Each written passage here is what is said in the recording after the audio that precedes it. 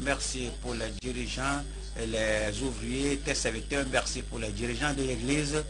Merci Seigneur pour tous les divers euh, domaines où tu fais usage de chacun de nous, en particulier ce temps de confinement et que tu utilises ton peuple pour prendre, pour prendre, pour prendre en contact, pour prendre contact avec euh, les membres. Et il y a toujours le développement de l'Église. La croissance de l'Église continue. Et nous prions que tu ouvres nos yeux dans divers domaines de la communauté afin qu'on puisse faire cette œuvre de façon agréable devant toi au nom de Jésus-Christ. Nous te remercions parce que tu nous as exaucés. Ouvre nos yeux de compréhension cette nuit et Seigneur aide-nous une fois encore à contempler les choses merveilleuses et des leçons de ta parole au nom de Jésus-Christ. Nous te remercions parce que tu nous as exaucés. Au nom puissant de Jésus, nous prions. Amen. Cette nuit, nous allons au livre de Psaume. Nous allons examiner Psaume 4. Et je sélecte versets 3 et 4 pour, pour notre session de développement des dirigeants. Psaume 4. Psaume 4. Verset 4. Sachez que l'Éternel s'est choisi un homme pieux. L'Éternel entend quand je crie à lui. Verset 5 dit. Tremblez. C'est ce que ça veut dire. Tremblez et restez. Tremblez et ne péchez point parlez en vos cœurs sur votre couche, puis taisez-vous. Pause. 6 dit, offrez des sacrifices de justice et confiez-vous à l'Éternel. Et ce sont les versets que nous allons examiner. Et le titre de ce soir est la relation particulière entre Dieu et le pieux. Dieu le Créateur, Dieu le Rédempteur, Dieu notre Père, Dieu notre Seigneur, Dieu le Très Haut, et la relation qu'on a en tant que fils de Dieu, fille de Dieu, serviteur de Dieu et les de Dieu. Cette relation particulière, c'est ce que nous allons examiner ce soir. La relation particulière entre Dieu et le pieux. Nous allons voir trois points comme on va examiner ces versets, verset 4. Numéro 1, la séparation absolue des pieux au Seigneur. Est-ce que Dieu exige, est-ce qu'il demande que absolument, complètement, entièrement et sans réserve qu'on se met de côté pour le Seigneur? La séparation absolue des pieux au Seigneur. Deuxième point, les normes confiées aux saints par le Seigneur. Les saints qui sont commissionnés par le Seigneur, les saints qui sont. Alors, nous, sommes, l'évangile nous est confié. Le service du Seigneur nous est confié. Quels sont les standards pour le, les normes, pour ces saints, ces filles, ces fils de Dieu, les normes confiées aux saints par le Seigneur. Et toi, les sacrifices du juste expressément pour le Seigneur. Notre sacrifice Quoique nous servions l'Église, les hommes, notre communauté, la société, nous servons l'humanité, néanmoins, et nous comprenons que notre sacrifice est au Seigneur. Est formellement, expressément pour le Seigneur? Troisième point. Les sacrifices du juste expressément pour le Seigneur. Allons au numéro 1. La séparation absolue des pieux au Seigneur. Lisons de Somme 4, verset 4. Et sachez que l'Éternel s'est choisi un homme pieux. L'Éternel entend quand je crie à lui. Lorsqu'il dit que, que sachez, vous devez comprendre que au commencement, il disait autre chose. Au verset 3, il a parlé des gens qui ont essayé de l'empêcher il a parlé des gens qui ont essayé de l'opprimer et des gens qui lui ont souhaité le pire. Que les, ennemis, vous devez savoir. Mes opposants, vous devez savoir. Ceux qui essaient d'empêcher, vous devez le savoir. C'est comme David dit à Absalom. Sache que l'Éternel s'est choisi David qui est un homme pieux pour lui. C'est comme David disait aux Philistins. Sachez que l'Éternel s'est choisi un homme pieux. C'est comme, on va l'étendre, c'est comme Job euh, disait à Satan que sachez que l'Éternel s'est choisi un homme pieux. C'est comme vous, vous vous dites à vous-même, ou vous dites à quelqu'un que sachez que Dieu vous a choisi, Dieu vous a mis à part parce que Dieu vous a choisi, il vous a mis de côté pour lui-même. C'est comme vous, enfant de Dieu, un, saint de Dieu, un fils de Dieu, un serviteur de Dieu, vous dites à vous-même, à toute croisée du chemin, partout où vous vous trouvez, vous êtes conscient du fait que vous êtes au Seigneur. Êtes-vous né de nouveau, vous êtes pour le Seigneur. Êtes-vous sanctifié, vous êtes mis à part pour le Seigneur.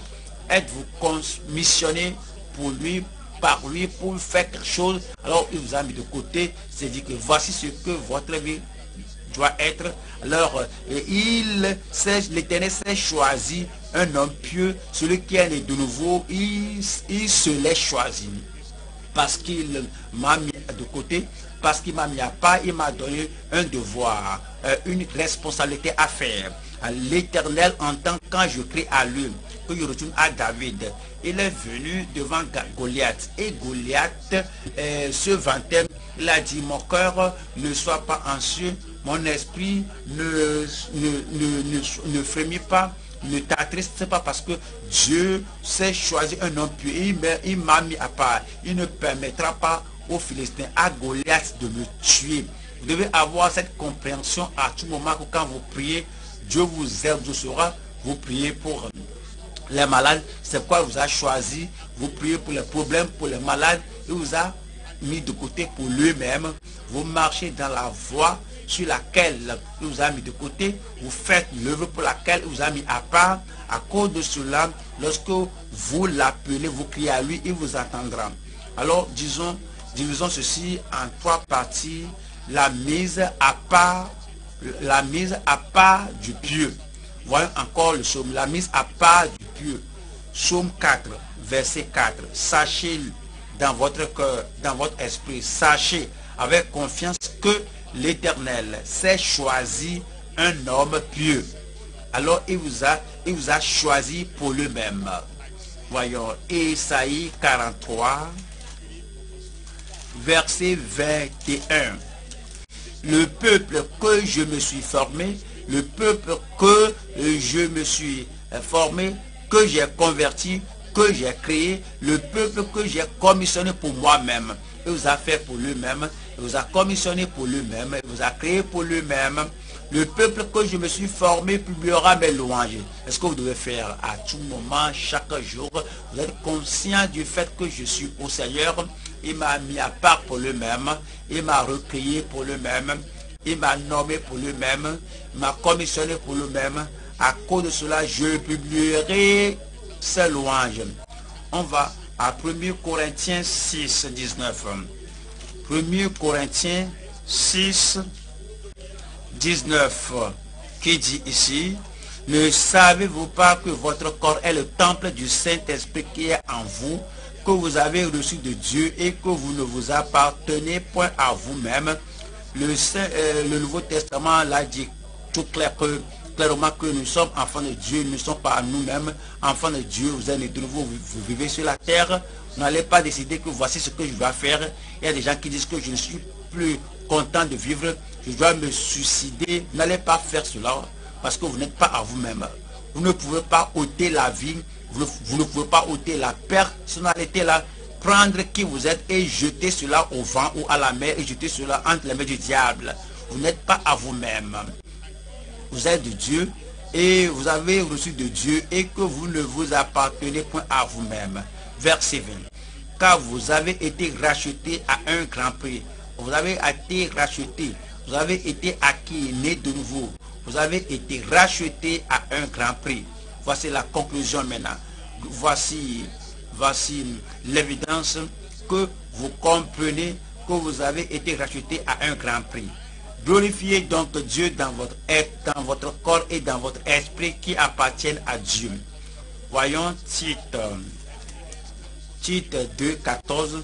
Cela nous dit encore ce que Christ a fait.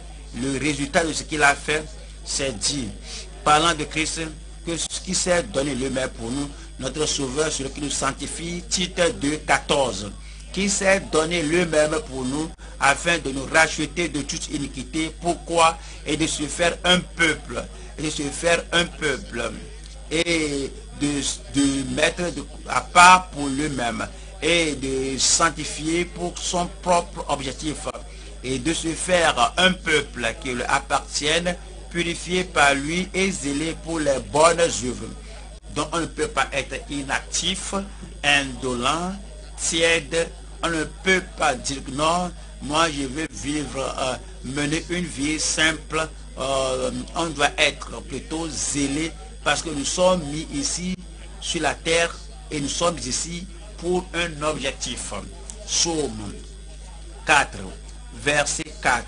Sachez que l'Éternel s'est choisi un homme pieux.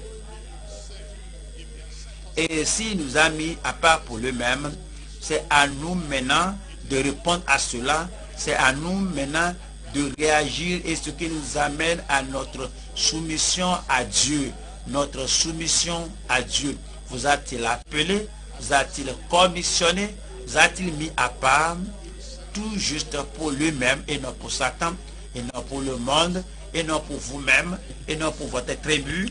Il vous a mis à part pour lui-même. C'est pourquoi l'apôtre Paul a dit en Galates chapitre 1, verset 15. Il a compris que il est mis à part pour Dieu. Galates 1, verset 15. Mais lorsqu'il plut à celui qui m'avait mis à part dès le sein de ma mère et qui m'a appelé par sa grâce et non par mérite. 16. De révéler en moi son Fils, afin que je l'annonçasse parmi les païens Aussitôt, je ne consultais ni la chair ni le sang. Il dit que je suis venu reconnaître que le Seigneur m'a appelé, que le Seigneur m'a recréé, le Seigneur m'a converti, le Seigneur m'a changé. Et l'a fait afin que je sois pleinement, entièrement, complètement, absolument séparé et que je sois complètement à lui. À cause de cela, je ne consulte pas la chair et le sang. La parole de Dieu nous dit, la parole de Dieu nous dit en Matthieu chapitre 4, verset 18. Comme il marchait le long de la mer de Galilée, il vit deux frères, Simon appelé Pierre et André son frère, qui jetaient un filet dans la mer car il était pêcheur. Ils faisaient et leur travail séculier et ils étaient pêcheurs et, ils, seront de, ils seront pêcheurs jusqu'à la fin de leur vie. Il n'y a rien de mauvais avec la pêche. Y a-t-il, est-ce euh, l'objectif ultime pour lequel Dieu a créé Pierre et André? Voyons 19 maintenant. Il leur dit, suivez-moi. Vous êtes mis à part pour quelque chose. Vous êtes créé pour quelque chose. Vous êtes converti pour quelque chose.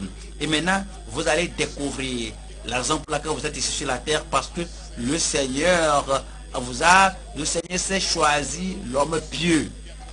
C'est pourquoi c'est dit, suivez-moi et je vous ferai pêcheur d'hommes. Je vous ferai, je vous ferai, je vous recréerai, je, vous ferai devenir la personne que Dieu a en vue avant de vous créer. Vous ferez pêcheur d'hommes. Dieu merci pour euh, leur réponse. Dieu merci pour votre réponse aussi. Verset 20 qui dit, voilà ceci, verset 20 qui dit, verset 20, aussitôt, immédiatement, aussitôt, aussitôt, ils laissèrent les filets et le suivirent. Que c'est un grand exemple pour nous, pour toi, un grand exemple pour toi, pour moi. Et lorsqu'ils pêchaient, ils ne savaient pas qu'ils auront un autre cours de la vie. Mais euh, l'appel est venu. Et aussitôt, euh, ils laissèrent les filets et le suivirent. Non seulement Pierre et André, voyons Jacques et Jean, verset 21.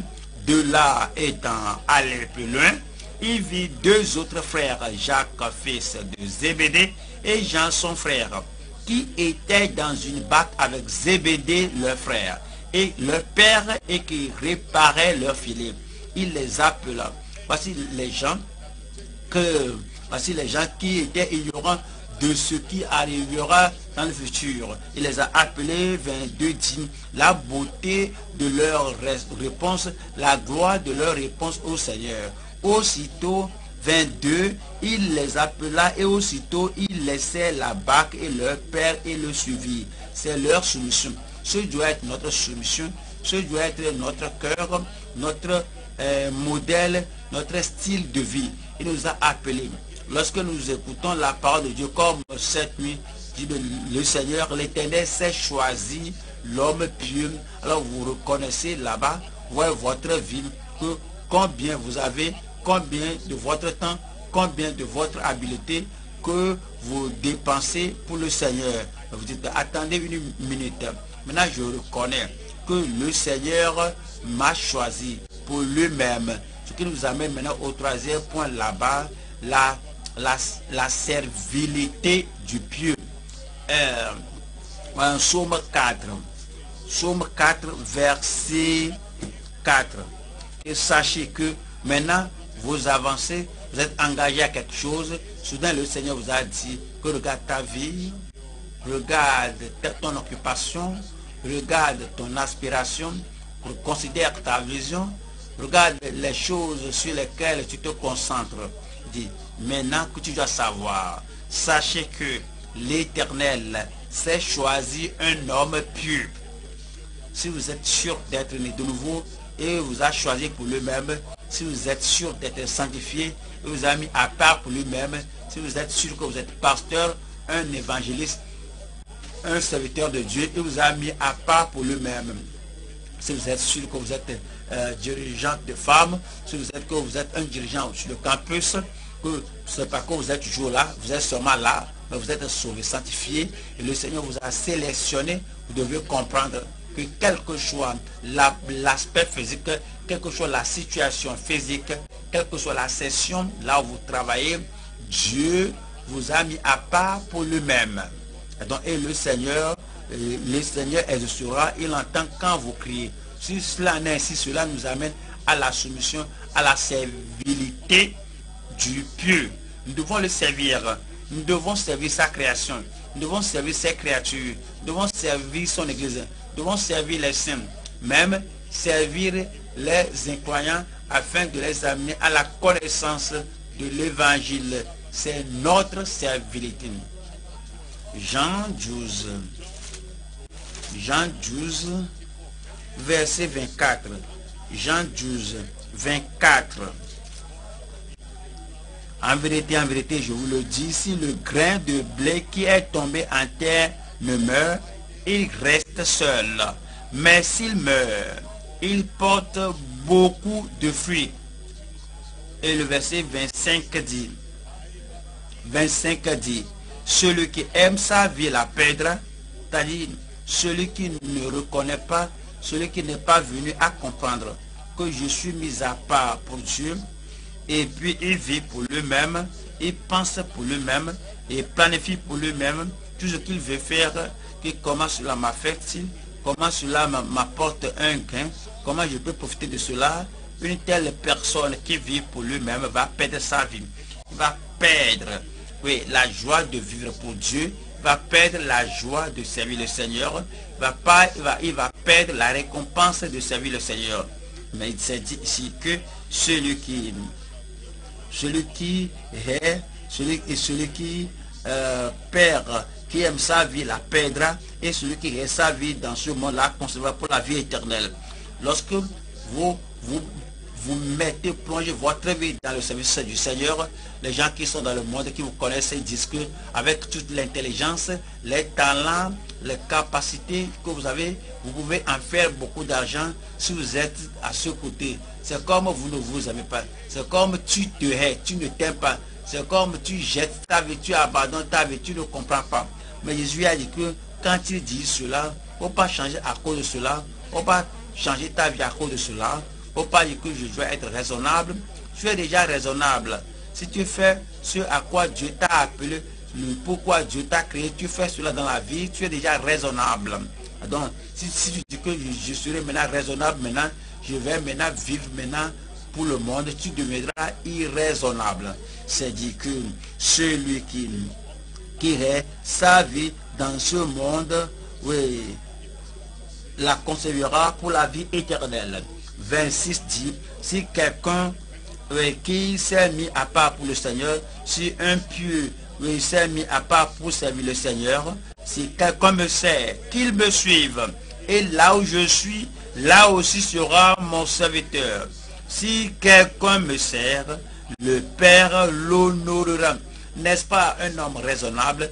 N'est-ce pas un homme, euh, euh, un homme qui pense bien Il sert le Seigneur et le Père céleste l'honorera. Psaume 4, verset 4 qui dit Sachez que l'Éternel s'est choisi un homme pieux. L'Éternel entend quand je crie à lui. L'Éternel entend. Le Seigneur vous entendra. Quand vous priez, il vous entendra et vous honorera que voici, c'est mon fils qui, qui appelle. Je vais lui exaucer, je vais l'exaucer. Euh, si euh, c'est mon serviteur et s'est abandonné à mon service, quand vous priez comme ça, vous demandez quelque chose, le Seigneur vous entendra et vous honorera lorsque vous l'invoquez. C'est notre compréhension, c'est la réalisation qu'il y a une séparation de Dieu entièrement au Seigneur. Voyons Psaume 4, verset 5, ce qui nous amène au deuxième point. Et ce qui dit ici, tremblez et ne péchez point. Parlez en vos cœurs sur votre couche, puis taisez-vous. Pause à la fin, faites une pause. faut pas fuir, faut pas courir. Alors pensez, méditez et appliquez cette parole que vous avez entendue. Il y a trois choses ici. Numéro un, son commandement pour tous les saints. Son commandement pour tous les saints. C'est d'ici, tremblez et ne péchez point. Numéro 2, là-bas, c'est la communion dans notre âme. La communion, parlez en vos cœurs sur votre couche. Et toi, c'est le calme dans notre esprit. Puis taisez-vous. Numéro 1 là-bas, c'est le commandement pour tous les saints. Ce qui dit tremblez et ne péchez point. Comme vous êtes né de nouveau, oui, euh, la vie devient différente. Les choses qu'on faisait au départ, on ne fait plus cela. Les lieux qu'on visitait, on n'y va plus. Euh, le style de vie qu'on faisait, qu'on menait, on ne fait plus cela. Alors, alors on apprécie cette, cet appel de Dieu, cette conversion sur, sur notre vie. Et cela nous amène, ou cela t'amène à un nouveau statut dans la vie, à une nouvelle position dans la vie. Trembler et ne pécher, point. Voici la parole de Dieu à tous les chrétiens. Voyons ce que 1er Corinthiens, 1er Corinthiens 15, verset 34.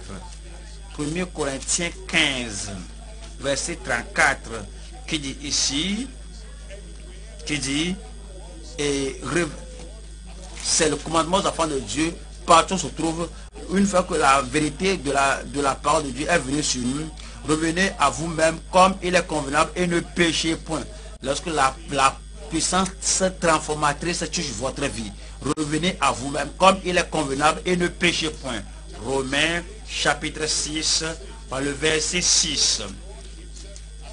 Cela dit que le Seigneur lui-même a fait cette œuvre en nous, l'œuvre de récréation, l'œuvre du salut, l'œuvre de la sanctification. Romains 6, 6. Sachant, on doit le savoir, on va l'expérimenter. Sachant, on va savoir cela par, expérience. Sachant que notre vieil homme a été crucifié avec lui afin que le corps du péché fût détruit pour que nous ne soyons plus esclaves du péché. La vie a changé et il y a un, changement total. À cause de cela, on ne sert plus le péché. C'est Dieu verset 12. Voilà le verset 12 du Romains 6 qui dit que le péché ne règne donc point dans votre corps mortel parce que vous ne devez plus servir le péché parce qu'on ne doit plus mener l'ancienne vie. Alors nous sommes maintenant, nous sommes, nous tenons le contrôle de notre vie. Alors nous maîtrisons, nous régnons sur le péché, sur le moi. que le péché ne règne donc point dans votre corps mortel et n'obéissez pas à ses convoitises. Verset 22 qui nous dit, mais maintenant, étant affranchi du péché, il nous a affranchis, il nous a convertis, il a changé notre vie, il nous a donné le salut et s'est dit que, mais, maintenant étant affranchi du péché et devenu esclave de Dieu, vous avez pour la sainteté et pour faire la vie éternelle. Vous connaissez le, le commandement là-bas, c'est que le commandement est que nous ne devons pas continuer dans le péché. À nous la grâce, à nous la miséricorde, à nous la puissance et la capacité du Seigneur.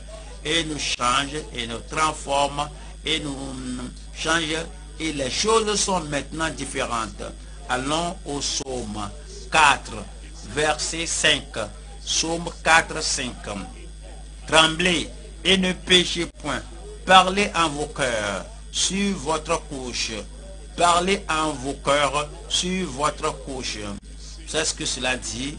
Déjà, nous avons appris euh, dans le psaume précédent, sans Bible, sans Bible, sans petit déjeuner.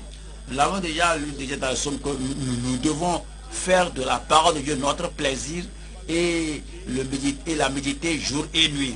Alors on vient maintenant à la partie de nuit de la Bible, après avoir lu la Bible, pas d'écriture, pas de sommeil.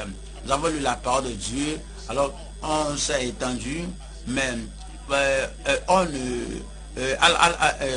à, la fin de, la nuit, après avoir lu la parole de Dieu, et qu'on s'étend, avant que le sommeil ne vienne, on médite la parole de Dieu et on commune avec la parole de Dieu, avec Dieu dans notre cœur. La parole de Dieu que j'ai écoutée aujourd'hui. Comment cela a mené la vie à mon âme? Les, promesses de Dieu. Comment euh, je les ai réclamées aujourd'hui? Les promesses de Dieu. Comment, obéissant la parole de Dieu, on communie, on médite, on rumine la parole de Dieu dans notre cœur. La communion dans notre âme. Psaume 77, psaume 77, verset, psaume 77, verset 6.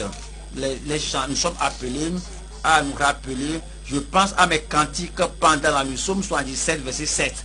Je pense à mes cantiques pendant la nuit. Je fais des réflexions au-dedans de mon cœur.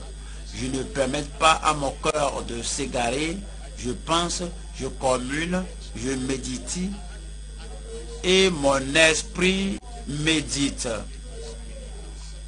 dans mon esprit, je médite la parole de Dieu.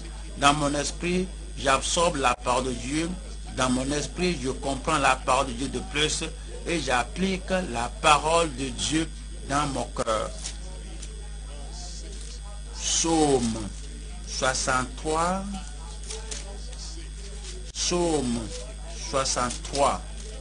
Et cela nous parle de cette communion, de cette méditation dans mon cœur. Lorsque je pense à toi sur ma couche, verset 7, je médite sur toi pendant les veilles de la nuit.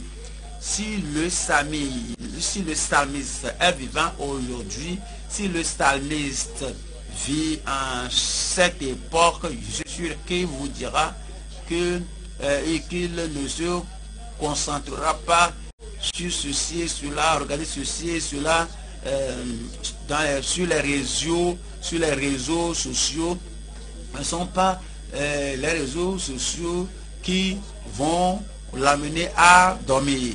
Mais il va méditer sur la parole de Dieu avant de, avant de dormir. C'est-à-dire un tel homme qui s'est levé le matin, il fera, il fera son recueillement.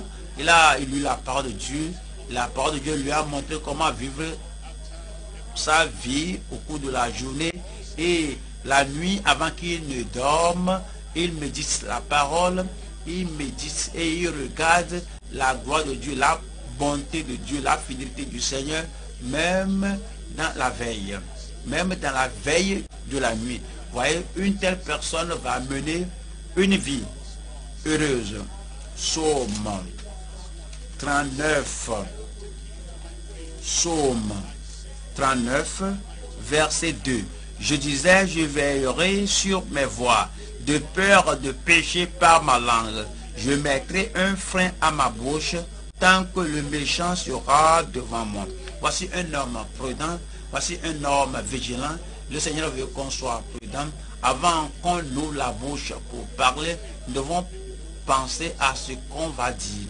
C'est comme vous avez cette bouche euh, bridée, alors vous ne, péchez, vous ne pécherez pas avec votre langue.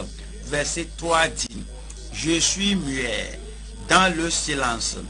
Je me suis tu, quoique malheureux, et ma douleur n'était pas moi vivant.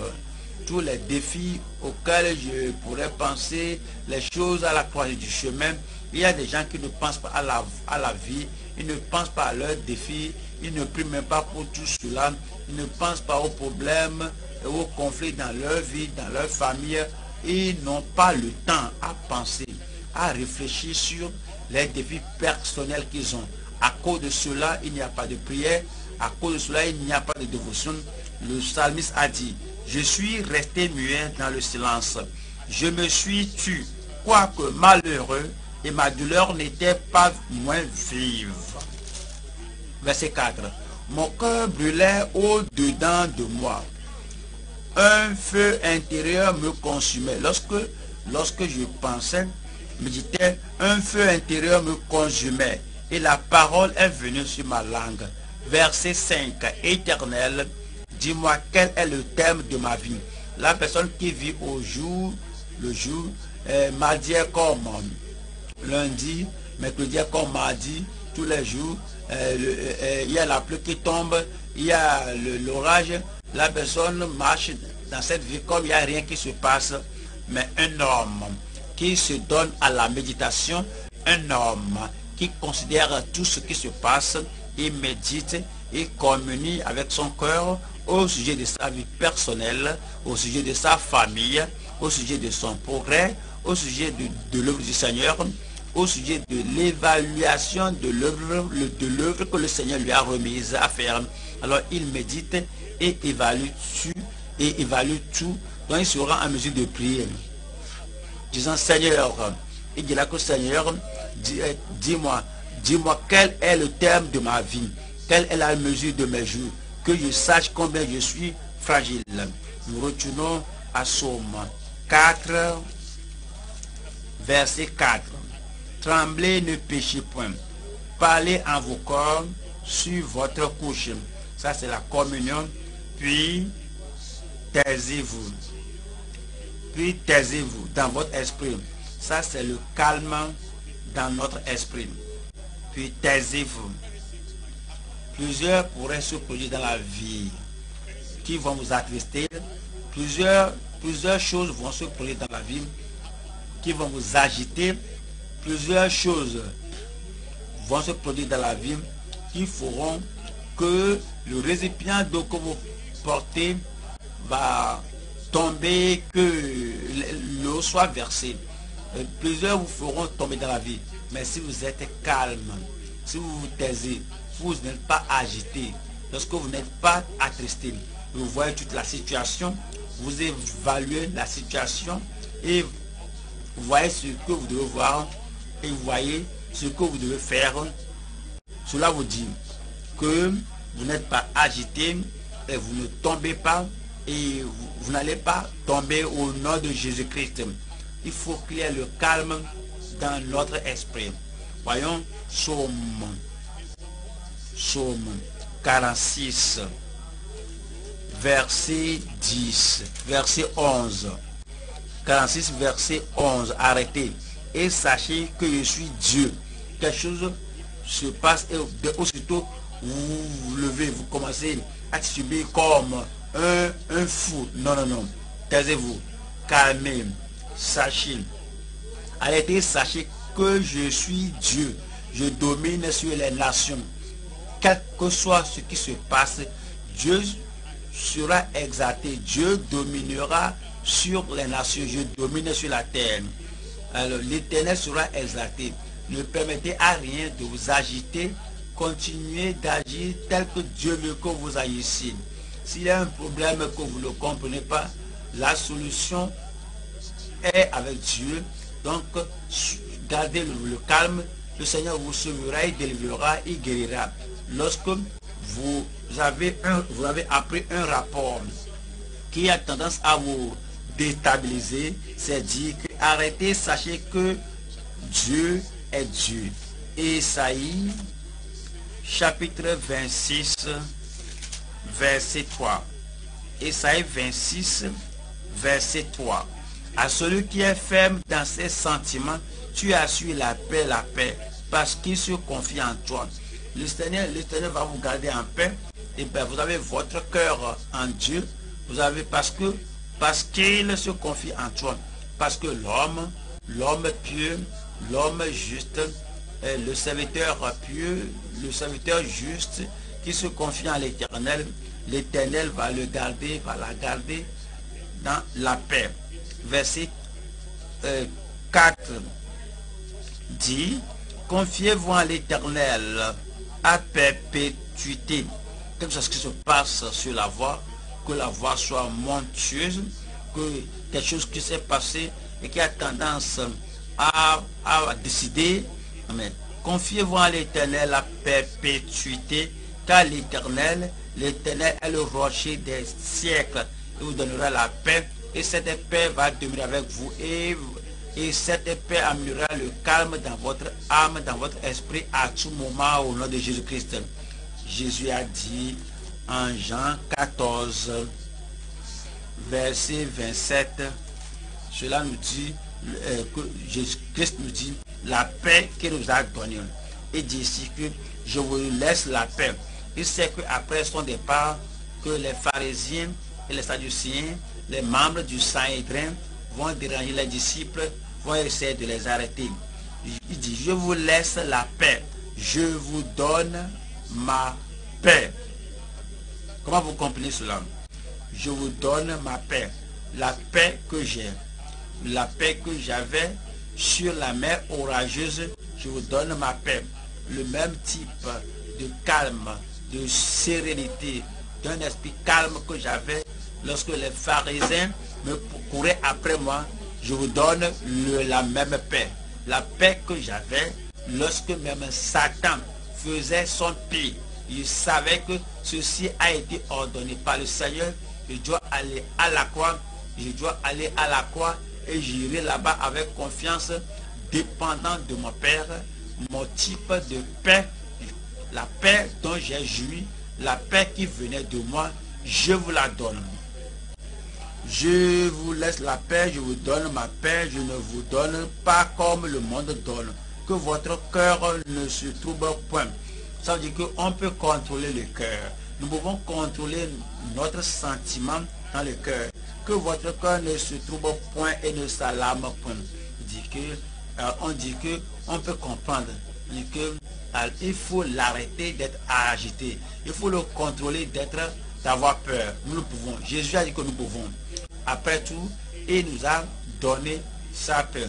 La paix va demeurer dans votre cœur, dans votre vie, à jamais au nom de Jésus-Christ. Philippiens 4. Philippiens 4, 6.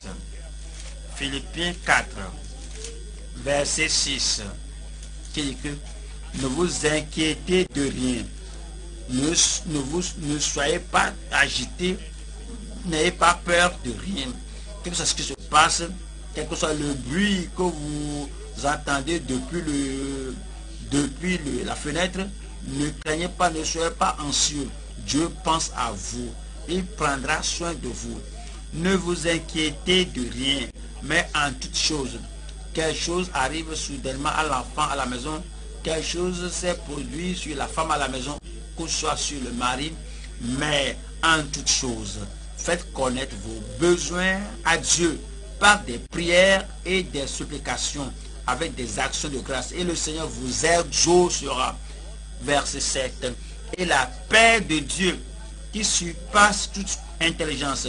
Les gens ne comprendront pas comment vous êtes calme dans votre âme, dans votre esprit, sur la mer orageuse, mais la paix de Dieu qui surpasse toute, intelligence gardera vos cœurs et vos pensées en Jésus-Christ. Il vous gardera calme à tout moment au nom de Jésus-Christ. Vous êtes une personne qui s'inquiète et selon votre, votre, nature, vous êtes agité à cause de ce qui se passe, la main du Seigneur sera sur vous et vous accordera la paix vous donnera le calme dans chaque domaine de votre vie, dans chaque domaine de la famine, dans chaque domaine du ministère. Il y aura le calme dans votre âme, dans votre esprit au nom de Jésus-Christ. Ce sont les normes que le Seigneur a confiées aux saints. Il nous a donné le commandement, ne péchez pas. Il nous a donné la communion. Nous communions avec notre âme, nous méditons et puis il nous donne le calme dans notre esprit. Nous allons maintenant au troisième point. Et voici Psaume 4, verset 6. Offrez des sacrifices de justice et confiez-vous à l'Éternel. Offrez des sacrifices de justice. Offrez des sacrifices de justice, les sacrifices de, justice ou, les sacrifices du juste. Même chose. Euh, si nous aurons notre service récompensé par le Seigneur, il nous faut le sacrifice. Parfois, euh, ce ne sera pas convenable, ce ne sera pas favorable, parfois c'est facile. Euh, autrefois, ce, ne sera pas facile, mais rappelez-vous que vous êtes le juste, parce que vous êtes le juste, alors vous offrez les sacrifices du juste expressément au Seigneur. Lorsque c'est dit, sacrifice quelque chose qui, qui vous touche un peu, quelque chose qui ne vous convient pas à tout moment. On voit dans la parole de Dieu, voyons Psaume 51, verset 19, qui dit, les sacrifices qui sont agréables à Dieu, c'est un esprit brisé. Ô Dieu, tu ne dédaignes pas un cœur brisé et contrit. Lorsque vous voyez votre vie et par la grâce de Dieu, vous menez une vie bonne, une vie juste. Vous êtes juste par la grâce de Dieu. vous, avez, vous avez vu une tendance d'une personne telle que Saül, que tout ce que le Seigneur lui a dit de faire, il n'a pas fait cela et n'a pas sinon terminé son devoir euh, au lieu d'agir comme Saül que j'ai fait tout ce que tu m'as dit de faire vous pensez quoi? À ce domaine que je n'ai pas fait ceci, je n'ai pas fait cela, je, ne suis pas allé là-bas, ton cœur est brisé, tu vas devant le Seigneur, je suis vraiment désolé, je vais faire plus de suivi à, à la fois prochaine, je serai plus actif la fois prochaine.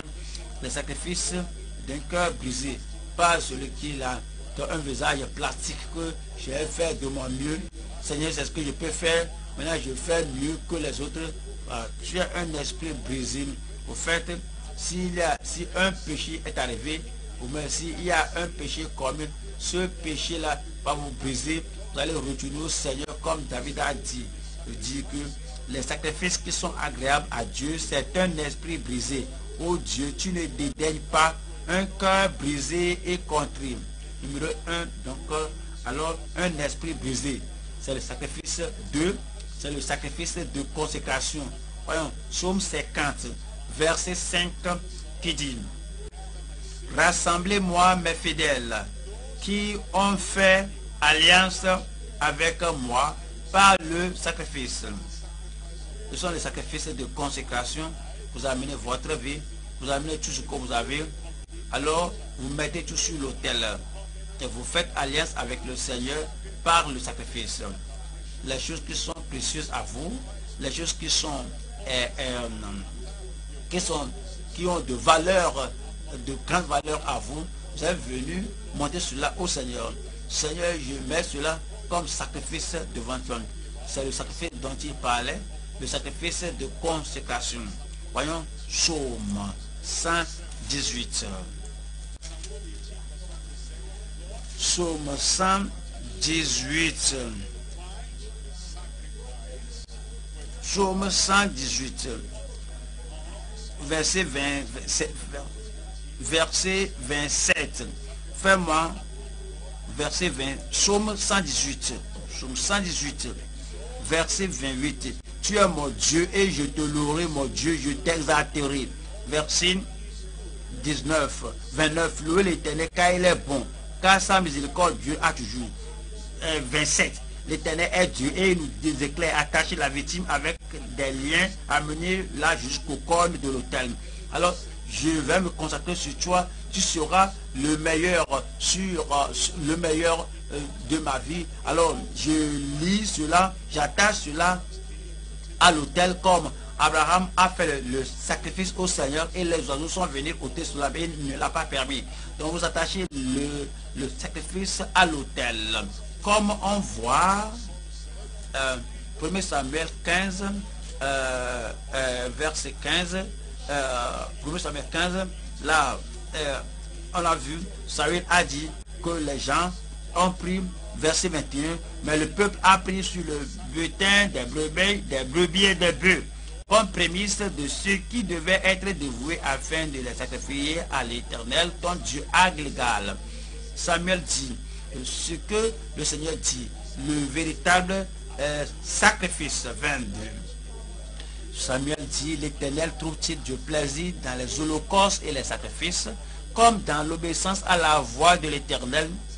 Voici le sacrifice d'obéissance.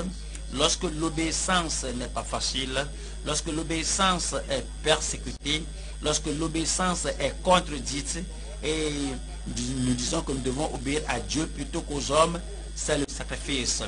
Alors, euh, voici l'obéissance vaut mieux que les sacrifices et l'observation de sa parole vaut mieux que la graisse des élus.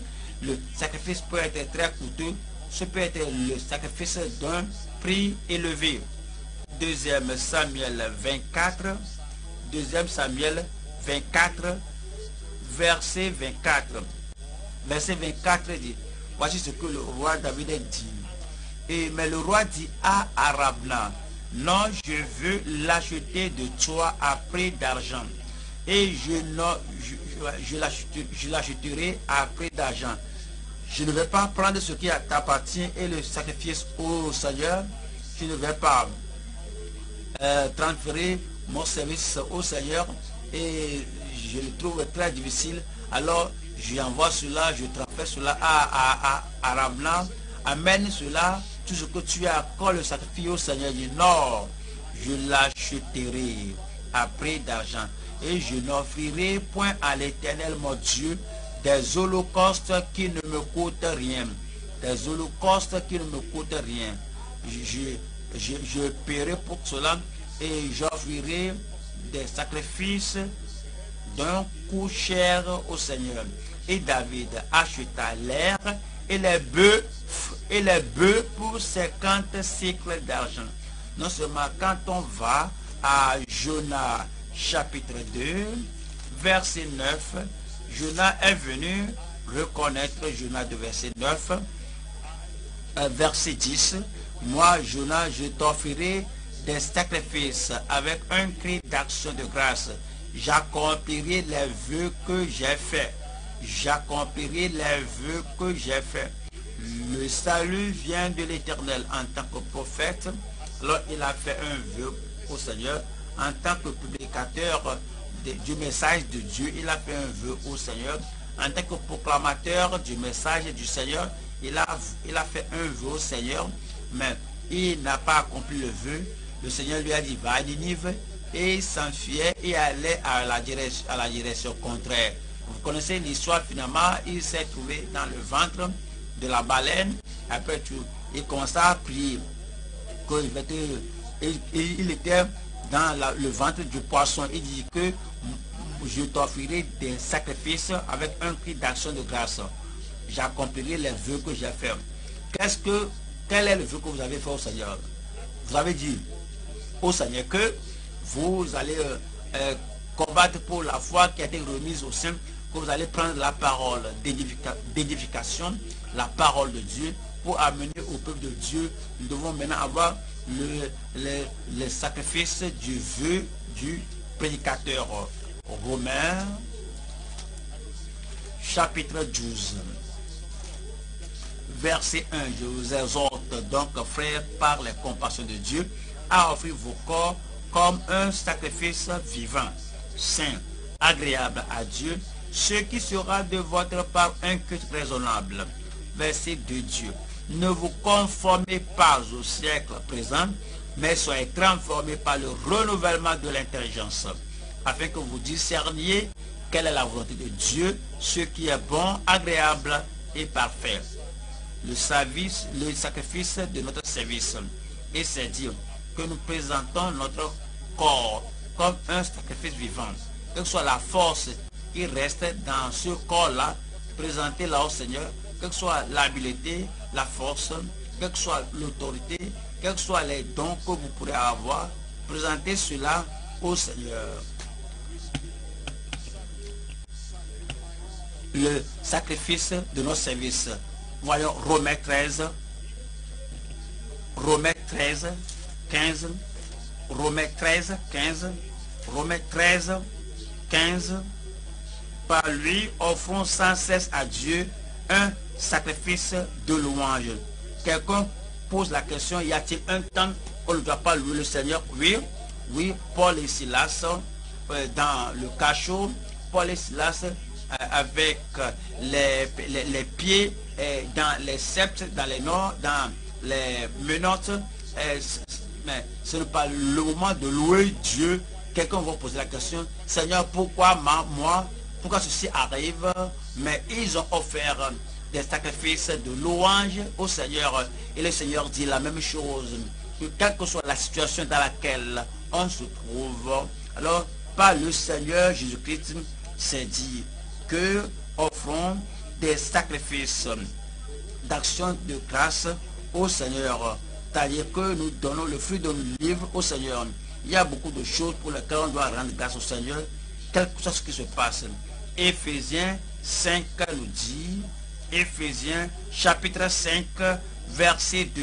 Et marcher dans la charité à l'exemple de Christ qui nous a aimés et qui s'est livré lui-même à Dieu pour nous comme une offrande et un sacrifice de bonne odeur. Comme Christ l'a fait. Et s'est donné lui-même comme un sacrifice.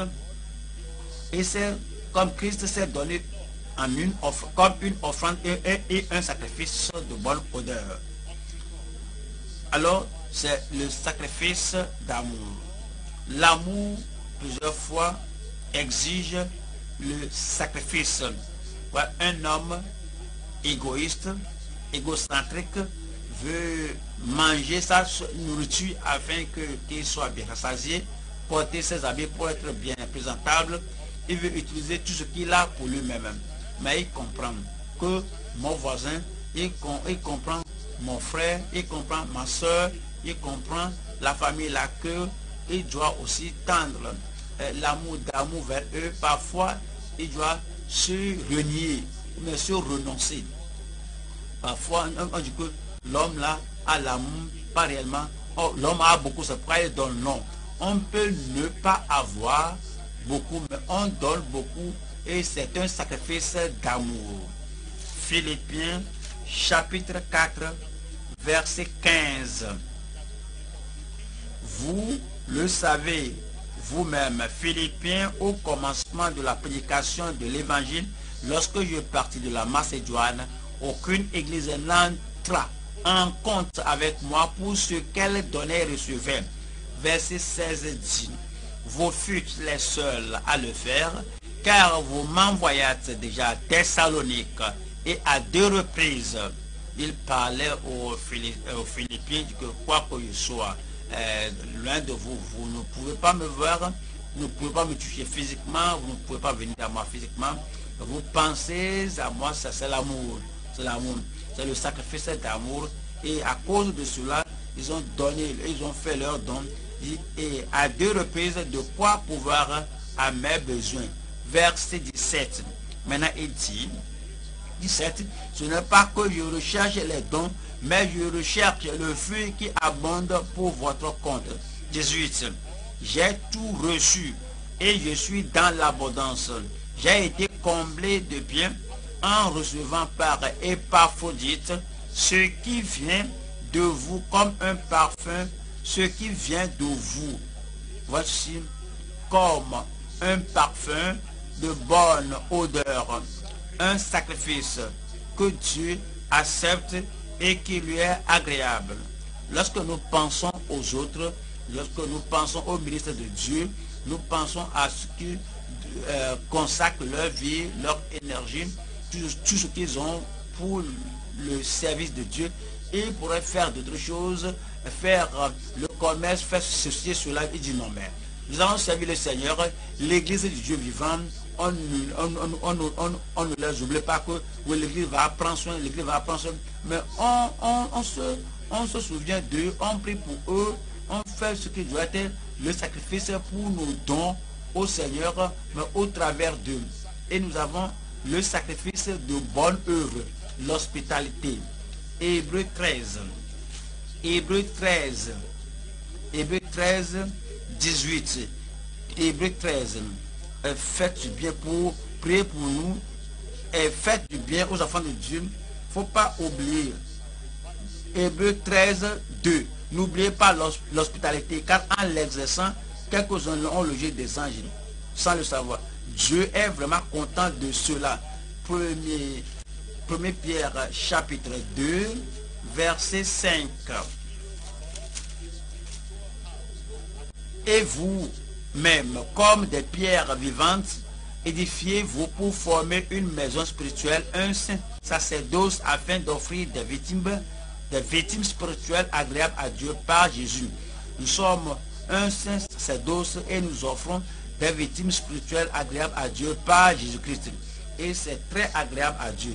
Ouais, lorsqu'on nous dit d'offrir le sacrifice de justice au Seigneur, numéro 1, alors euh, le, numéro 1, le sacrifice d'un esprit brisé, le sacrifice de consécration, 3, le sacrifice de soumission absolue 3. Le sacrifice de le sacrifice d'obéissance. Il y a le sacrifice d'un prix cher.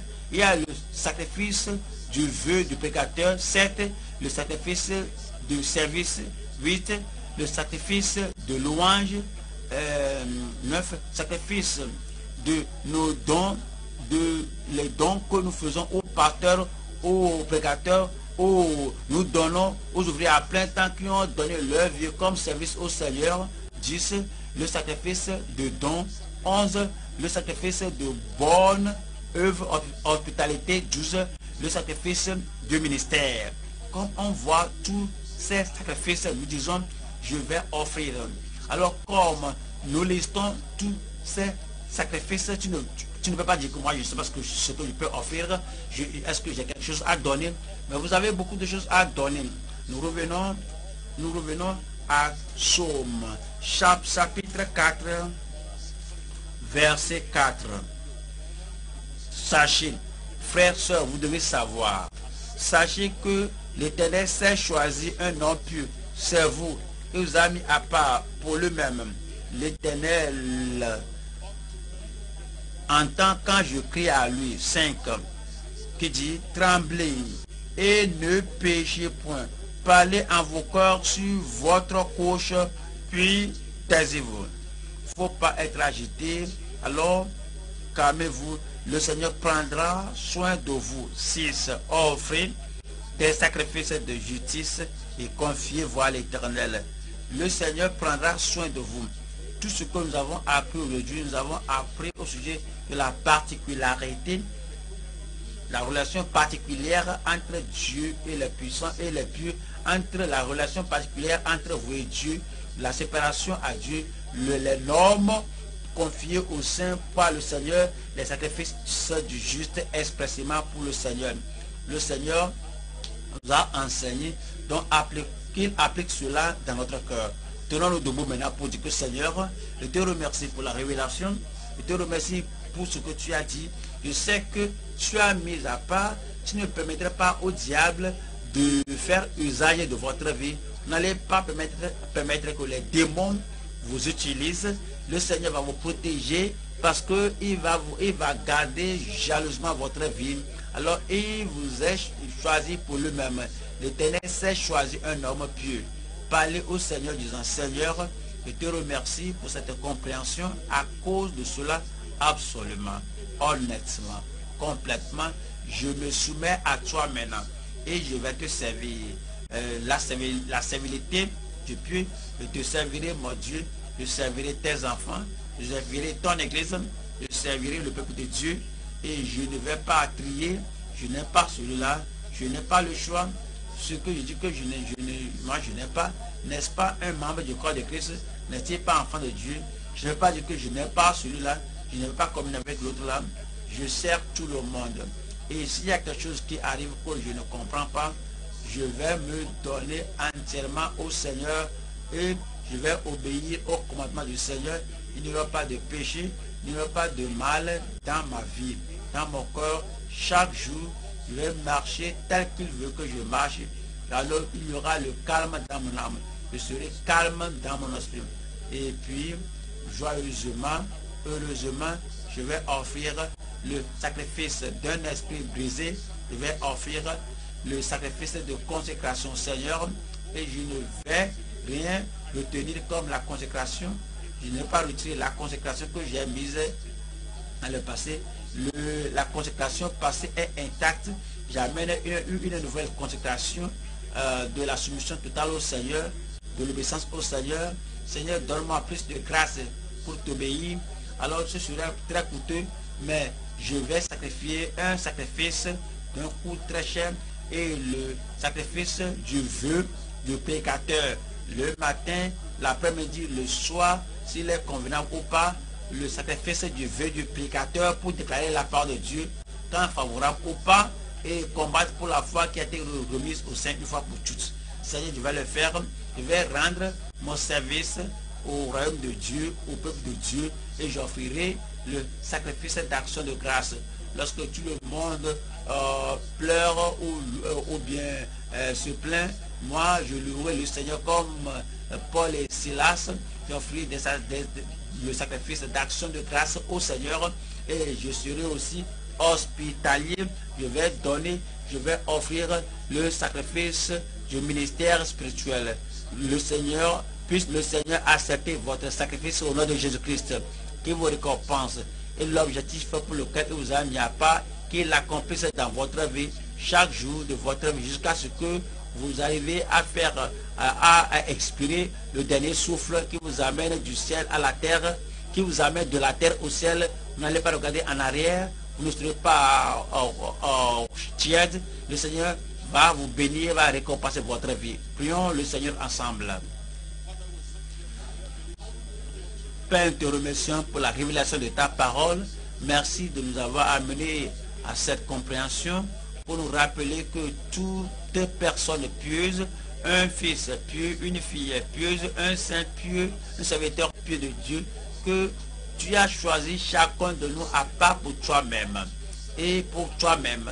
Et nous allons faire ta volonté tous les jours de notre vie au nom de Jésus-Christ. Et nous demandons, Seigneur, que cette habileté à totalement nous soumettre à toi, à nous soumettre absolument, à, soumettre ce qu'on a, ce qu'on a consommé cela à toi, accorde-le au nom de Jésus-Christ. Nous prions que nous, nous agissions comme des serviteurs et non comme ceux qui dominent sur l'héritage du Dieu de Dieu et non comme des dominateurs sur le peuple de Dieu, mais nous allons manifester la, la servilité en nous et le service que nous allons te rendre et au corps de Christ et que tout cela te sera agréable au nom de Jésus-Christ. Nous demandons, Seigneur, que les commandements que tu nous donnes, que, comme nous avons maintenant la grâce de Dieu, nous sommes de nouvelles créatures en Christ et nous n'allons pas faire comme ce qu'on faisait au départ, n'allons pas mener une vie égocentrique, une, une vie égoïste, une vie pécheresse, mais tu nous as dit de nous réveiller et de nous réveiller à la justice et que nous ne péchons pas. Nous prions que la grâce de demeurer dans la sainteté et dans la justice, que tu l'accordes à chacun de nous au nom de Jésus-Christ. Et puis, l'attitude, l'habitude de méditer dans notre cœur, et communier et méditer et ruminer la parole de Dieu. Non seulement que notre cœur euh, s'égare par-ci par-là, cette habileté, cette habitude de communier nous soit accordée au nom de Jésus-Christ. Seigneur, nous savons que plusieurs d'entre nous, par nature, on est facilement agité, on est facilement attristé par ceci et cela. Si quelque chose se passe soudainement, cela nous agisse. Mais Seigneur, tu peux nous donner le calme dans l'esprit. Tu peux nous donner le calme dans l'âme. Tu peux nous garder dans la paix parfaite. Je prie Seigneur que la paix que Christ nous a donnée, que cela contrôle notre cœur, notre vie, notre, nos pensées au nom de Jésus-Christ. Nous demandons Seigneur, comme tu nous as appelés à offrir à toi le sacrifice d'un cœur contrit, d'un esprit contrit, le sacrifice de consécration, de la soumission totale, le sacrifice d'obéissance. Nous demandons Seigneur que tous ces sacrifices-là, que nous les amenons encore sur l'autel. On n'amène pas les, animaux à l'autel comme les enfants d'Israël l'avaient fait, mais nous amenons notre sacrifice d'un prix cher à toi. Nous pouvons amener notre sacrifice d'amour à toi. Nous pouvons amener le sacrifice du vœu de pécateur. Nous pouvons dire que nous avons mis la main à la charrue, ne pas regarder en arrière. La constance que nous devons avoir en faisant ton œuvre, en prêchant la parole et la totalité de notre abandon à ta volonté, à ton œuvre, soit accordée à chacun de nous au nom de Jésus-Christ. Nous prions, Seigneur, que lorsqu'il viendra d'aimer, nous allons sacrifier. Quand il, s'agit du corps, on doit sacrifier. quand il s'agit du ministère, on va sacrifier. Quand il s'agit de offrandes et les bonnes œuvres et l'hospitalité, nous prions, Seigneur, que tu nous aides à nous rappeler à tout moment lorsqu'on est fatigué, lorsqu'on est épuisé, lorsqu'on pense que quelle en est l'utilité, j'ai fait ceci, j'ai fait cela, même je suis fatigué maintenant. Seigneur, nous prions que l'esprit de tiédeur, que tu chasses cela de chacun de nous au nom de Jésus-Christ, passionnément et avec zèle et avec objectif et avec dirigeant, nous allons tout soumettre à toi et pour ton service au nom de Jésus-Christ. Nous prions, Seigneur, que le ministère spirituel que nous devons à tout moment remplir le jour, le matin, l'après-midi, le soir, accorde-nous la vie pour nous livrer totalement au service du Seigneur et que ce ministère spirituel en tant que tes sacrificateurs, que nous continuons d'offrir euh, un sacrifice, un, sacerdoce, et que tes bénédictions soient sur notre vie. Nous avons déjà l'assurance que quand nous t'appelons, que tu vas nous exaucer. Je prie pour chaque soeur, frère, chaque enfant de Dieu, que comme nous t'invoquons, que tu exauces nos prières au nom de Jésus-Christ. La prière pour nous, pour les membres de notre famille, la prière pour, le, pour les gens qui font notre souci. Seigneur, accorde à chacun de tes enfants les réponses immédiates à nos prières. Nous te remercions parce que tu nous as exaucés. nous savons que la joie du Seigneur, la paix de Dieu seront la force de chacun de nous. Merci au Seigneur quand nous avons prié au nom puissant de Jésus-Christ. Amen.